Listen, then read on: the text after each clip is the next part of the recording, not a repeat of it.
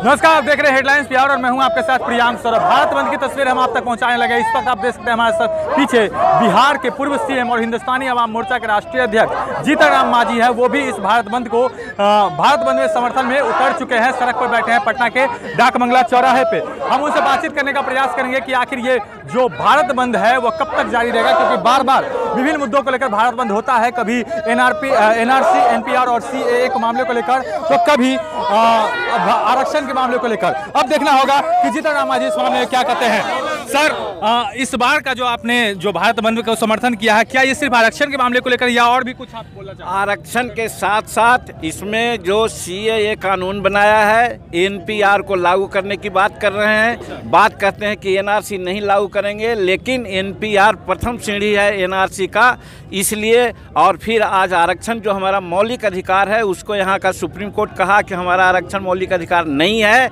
और यहाँ का जज प्रधानमंत्री को भगवान मानने के लिए भाषण देता है, ये सारी बातें ऐसी है जो जुडिशल का जो मर्यादा है, उसको तार तार कर रहे हैं, संविधान को हमारा ख़त्म कर रहे हैं। वैसी परिस्थिति में हम लोगों को कोई विकल्प नहीं है कि शांतिपूर्ण आंदोलन करें। आज शांतिपूर्ण आंदोलन पर हम लोग उतरे हुए हैं। अगर इसके बाद भी सी वापस नहीं होगा एनपीआर लागू करने की बात नहीं छोड़ेंगे तो वैसी परिस्थिति में हमारा जो आरक्षण का मामला को मौलिक अधिकार जब तक नहीं मानेंगे, तब तक हम लोग और गंभीर आंदोलन करने को हम लोग सोचा है ये आंदोलन लगातार जारी रहेगा आपका? अब होगा इसके बाद विचार करेंगे आज के बाद कुछ समय देंगे उनको और उसके बाद फिर हम लोग आम लोगों को तो काफ़ी परेशानी हो रही है इससे पहले भी बार बार एनआरसी के मामले को लेकर भारत बंद बिहार बंद होता है तो इससे नहीं लगता कि आम लोग ज़्यादा परेशान हो रहे हैं? ये तो सरकार को सोचना चाहिए था बहुत सी सरकारें ऐसी हैं जो कि आंदोलन होता है दूसरे देशों में भी तो उसको बुलाकर बात करते हैं और समस्या का हल निकालते हैं लेकिन ये सरकार तो एकदम बहुमत के गरूर में है और समझते हैं कि जो हम कर रहे हैं वो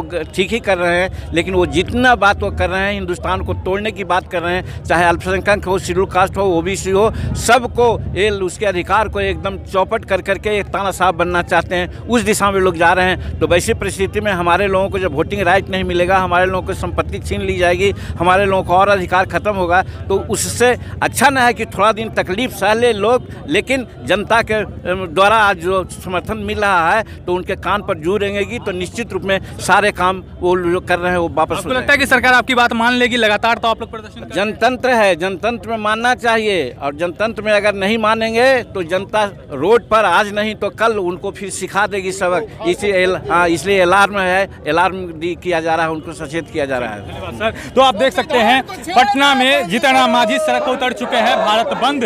जो आज बुलाया गया है भीम आर्मी के तरफ़ से। भीम आर्मी को अब भारत ने भी- भीम आर्मी ने जो भारत बंद बुलाया है, आरक्षण के मामले को लेकर, एनआरसी, सीएए के मामले को लेकर, उसको समर्थन दे रहे हैं बिहार के तमाम जो राजनीतिक दल हैं विपक्ष में जो हैं, वो सब समर्थन कर रहे हैं। और इसी कड़ी में जीतन राम मांझी भी पटना के डाकबंगला चौराहा पर सड़क पर बैठ चुके हैं। तो देखने वाली बात होगी कि इस भारत बंद का कितना कितना असर होता है बिहार की राजनीति पर और क्या सरकार इस मामले को लेकर फैसला कुछ लेती है, तमाम चीज़ों से हम आपको अपडेट करा रहे हैं। अगर आपने अब तक हमारे चैनल को सब्सक्राइब नहीं किया है तो जल्द सब्सक्राइब कर ले। धन्यवाद।